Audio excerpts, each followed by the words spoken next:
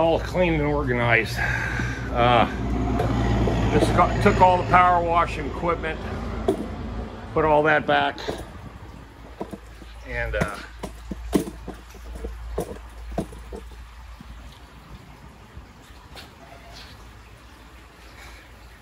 Hey guys, how's everybody doing? Hope everybody's doing well. Um, I just want to report that um, I found out this morning that the video I uploaded yesterday, and I had that random conversation with you guys about young people, and uh, you know, I asked, you know, you guys to chime in on uh, what you think the problem with young kids today are. Now, here, of course, obviously, everybody should know by now that they uh, found Gabby's body, and she is deceased. As of this morning, uh, this is the young couple that traveled from New York doing the van life thing, and uh, Utah, you know, Arizona, Colorado, all the sites, you know, they took pictures and uh, uploaded videos to their uh, subscribers uh, uh, chronologically, you know, categorizing cat- their, their, their journey and their travels. So now it's one, 10 minutes after one in the afternoon now. I have not listened to the radio. I have not uh, updated myself on what the current condition is, but the information that I've got so far, and a lot of you have already told me first thing this morning, I saw your comments, that they did find her body, or at least it matches the description of the young woman uh, mentioned in the video during that traffic stop in Utah, and they found her body in Wyoming in a campsite. And another YouTube blogger uh, also was up in that area two weeks prior. Uh, before the incident uh, became national, uh, the you know the, the the couple missing, the girl missing, uh, Gabby was missing.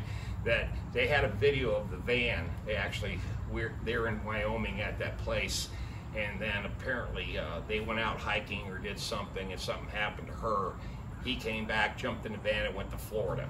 But that video is out there where that van is parked, uh, where the, the, in the, the same area that Gabby was found. So here we go. You know, a tragic ending to a, a young 22 year old woman and now the boyfriend is uh, in Florida, uh, hiding in a swamp that's got 80 miles, you know, 80 square miles, and half of it's flooded. They said it'd be a month. It could be a month before they find the guy, or get lucky and just stumble upon the guy. Now, you have to ask yourself one question: How in the world do people get themselves in so much shit uh, with each other? You know, especially if you're engaged and you proclaim that you're in love with somebody, that um, it gets to the point now to where you, and this is alleged now, alleged, of course, they, they can't prove he hasn't, he's just a person of interest, uh, prove that he murdered her. But my gut feeling is, I this is what I'm going to say publicly on my channel. I think uh, she's dead and she was murdered and she was murdered by him. And that's her fiance. And that's just my gut feeling. I could be totally wrong, uh, but that's my gut feeling. And once the autopsy, all that information has uh, been released to the public, they'll they'll know more. Because really, uh, they're like they said this morning, they're not sure how she died, but that's an ongoing investigation. So, you know, when I was growing up as a kid, I I don't know any anyone that I knew, anyone, and we knew hundreds and hundreds of kids when we were army brats with the military. I mean, hundreds. And we just never heard of anybody committing suicide, anybody committing murder. And I know the internet wasn't up then. They wasn't invented in those days. There was no cell phones. You know, we didn't even have TV uh, most of the time. Um, so, yeah, our information was local stuff, but still, we did hear national news when it, when it did come out over the Armed Forces radio. But through all the years that I've been alive, I, I, have just known people who have died strictly by accident, like a motorcycle accident, uh, a car accident. Uh, those are, but murder, we never saw murder.